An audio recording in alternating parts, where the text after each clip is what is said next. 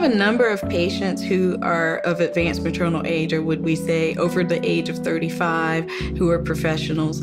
And um, the chance of having a Down syndrome baby or having a baby that is born with several defects is uh, not something that would go along with their career choice or their lifestyle socially.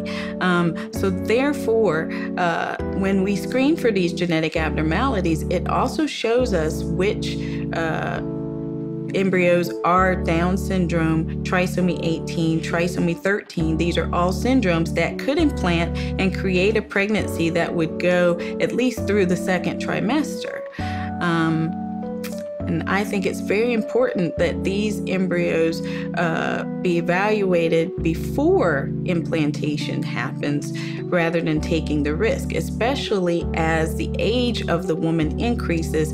It is well documented that these abnormalities increase with the age of the female.